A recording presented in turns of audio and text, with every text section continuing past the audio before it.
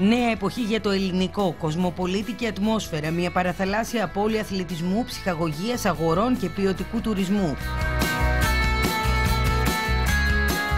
Σύντομα οι κάτοικοι και οι επισκέπτες της Αθήνας θα απολαμβάνουν ένα από τα μεγαλύτερα εμπορικά πάρκα παγκοσμίως.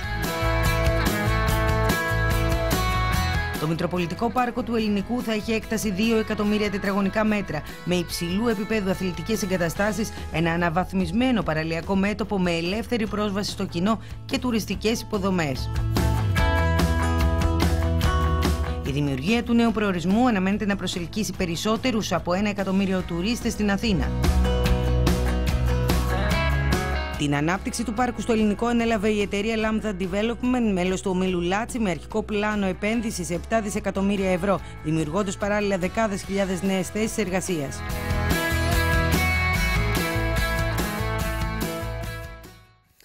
Εκτός των άλλων και πάλι στη Γερμανία και στη φυλάκιση του